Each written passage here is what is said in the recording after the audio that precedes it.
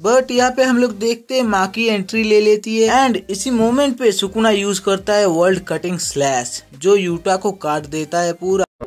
तो finally JJ के chapter 251 officially release हो चुका है। एंड आज मैं इस वीडियो में उस चैप्टर को कवर करने वाला हूँ। इसलिए वीडियो को पूरा देखो बिकॉज़ ये चैप्टर बहुत ही ज़्यादा बवाल है। मुझे ये चैप्टर रीड करके मज़ा आ गया। इस चैप्टर के स्टार्ट में हम लोग देखते हैं, सुकुना रियलाइज़ करता है की यूटा उसके कस्ट टेक्निक को यूज़ कर पा रहा है। सुकुना ये सोचता है की यूटा ने उसके आखिरी फिंगर को कंज्यूम किया है। एंड इसकी वजह से यूटा सुकुना के कस्ट टेक्निक को यूज़ कर पा रहा है। यहाँ पे हम लोग यूटा को देखते हैं, जो सुकुना को बोलता है, तुम अपने लास्ट फिंगर को रिट्रीव नहीं कर पाए, है ना? एंड देन सुकुना को रियलाइज़ हो जाता है कि ये बंदा है, यूटा, इसने ही मेरे लास्ट फिंगर को कंज्यूम किया है। एंड बिकॉज़ ऑफ़ दैट ये मेरे कस्ट टेक्निक को यूज़ कर पा रहा है। मतलब यहाँ पे ये भी हो सकता है की यूटा हर किसी के कस्ट टेक्निक को कॉपी कर सकता है। बट यूटा को उस बंदे का या फिर बोले बंदी का फ्लेश या फिर ब्लड कंज्यूम करना पड़ेगा। अगर यूटा उसके कस्ट टेक्निक को कॉपी करना चाहे it is just a theory फिर हम लोग देखते हैं यूटा एंड यूजी को, जो लोग सुकुना के साथ क्लोज कॉम्बैक्ट में उतर चुके हैं। एंड यूटा तो कसके पेल रहा है सुकुना को। सुकुना भी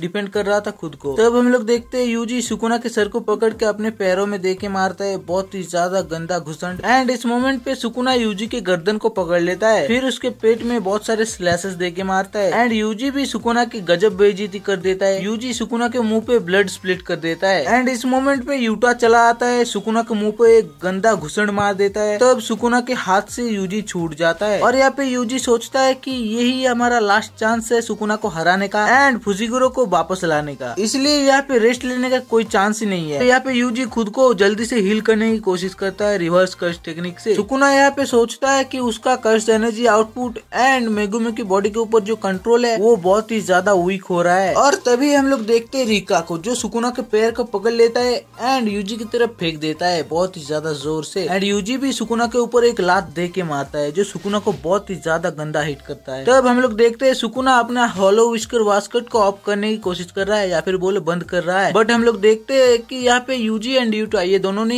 उसके इस अटैक को प्रिडिक्ट कर लिया था। यहाँ पे सुकुना सोच रहा था कि वो हॉलो विस्कर वास्कट को रिलीज़ कर देगा। एंड एंजल की जो कस्ट टेक्निक यूटा यूज़ कर रहा है जैकब्स लीडर उसके अटैक को अपने ऊपर ले लेगा। बट उसके बाद सुकुना इन दोनों के ऊपर वर्ल्ड कटिंग स्लेस से अटैक करने वाला है। और हमने तो देख लिया यूजी एंड यूटा ने सुकुना के इस अटैक को प्रिडिक्ट कर लिया। एंड इन सबने मिलकर जाके सुकुना के चारों हाथों को पकड़ लिया। सुकुना के एक हाथ को पकड़ लेता है यूजी एंड सुकुना के दो हाथ को पकड़ लेता है रिका और इसी मोमेंट पे यूटा जाता है और सुकुना के पेट में एक घुसण मार देता है। तभी हम लोग देखते हैं सुकुना अपना एक हाथ यूटा के सर पे रखता है एंड उसके ऊपर स्लैश अटैक कर देता है, जो यूटा को बहुत ही ज़्यादा डैमेज देता है। बट यूटा खुद को हील कर लेता है बहुत ही ज़्यादा फास्ट इस अटैक की वजह से यूटा को डैमेज तो लगा था बट यूटा बहुत ही ज़्यादा जल्दी हील हो जाता है एंड यूटा सोचता है कि सुकुना अभी अपने डिसमेंटल को एक्सपेंड नहीं कर सकता था। बिकॉज़ सुकुना अभी हॉलो विस्कर वास्केट यूज़ कर रहा है। Even if it's a very simple technique but Sukuna को हर समय चैंट्स या फिर बोलो हैंड सैंड यूज़ करना पड़ रहा है एंड इसके बाद हम लोग देखते हैं यूटा सुकुना के मुँह पर एक और स्लैश अटैक करता है और सुकुना भी कोई कम चीज़ नहीं है वो भी यूटा के ऊपर बहुत सारे स्लैश अटैक छोड़ देता है बट यूटा यहाँ पे रियलाइज़ करता है कि सुकुना के स्लैश अटैक बहुत ज़्यादा वीक हो रहे हैं एंड इसलिए यूटा सोचता है अभी मेरे को डरने की कोई ज़रूरत नहीं है बिकॉज़ इसके स्लैश अटैक बहुत ही ज़्यादा वीक हो रहे हैं इसलिए मैं क्लोज रेंज में जा सकता हूँ एंड इसके ऊपर अटैक कर सकता हूँ और तभी हम लोग देखते हैं सुकुना के फेस में जो ब्लड था यूजी ने स्प्लिट किया था, वो ब्लड एक्सप्लोड हो रहा है। और हम लोग भी देखते हैं, यहाँ पे यूजी को ब्लड मैनिकुलेशन यूज़ करते हुए। एंड यूजी का सेकंड कस्ट टेक्निक भी रिवील हो चुका है। तो यूजी अभी टोटली दो कस्ट टेक्निक यूज़ कर पा रहा है। और इसी मोमेंट पे हम लोग देखते है यूटा जाके सुकुना का एक हाथ काट देता है। और यही पे सीन शिफ्ट हो जाता है। हम लोग यहाँ पे फ्लैशबैक देखते हैं। यहाँ पे इस मोमेंट पे सभी लोग बात कर रहे थे कि वो लोग कैसे मेगुमी एंड सुकुना के सोल को अलग करे।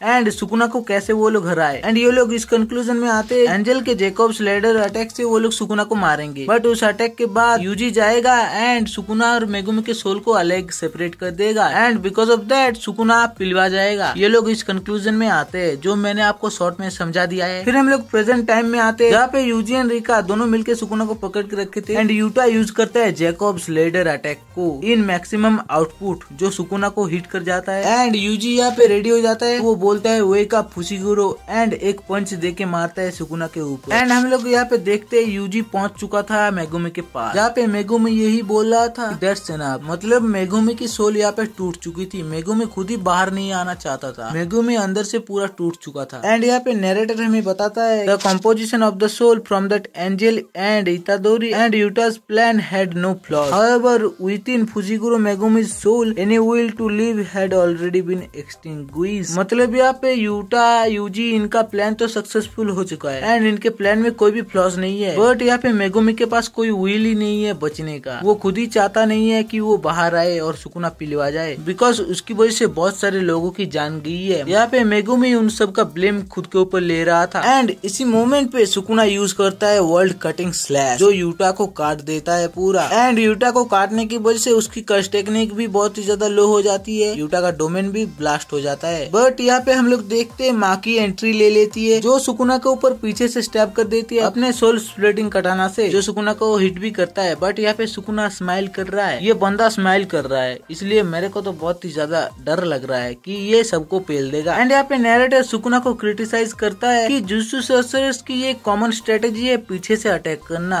मतलब छुप के अटैक करना, जिसे सुकुना इजीली डॉज कर सकता है बट सुकुना ने ऐसा नहीं किया है। एंड इस पेज के कोने में लिखा हुआ था pressed by the blade of a monster with no curse energy और यही पे ये चैप्टर खत्म हो जाता है। एंड ये चैप्टर बहुत ही ज़्यादा बवाल निकला। मुझे तो मज़ा आ गया। अभी माँ की भी एंट्री ले चुकी है फाइट में। तो अभी नेक्स्ट वीक ब्रेक है। इसलिए नेक्स्ट वीक जे के चैप्टर वाले वीडियो नहीं आएगी। इसलिए कोई अलग वीडियो डाल दूँगा मैं। तो उसको भी देखने के लिए चैनल को सब्सक्राइब कर लो। और ये वीडियो अगर आपको अच्छा लगा वीडियो को लाइक कर दो। और हम लोग मिलते हैं किसी और एक वीडियो में। Till then good bye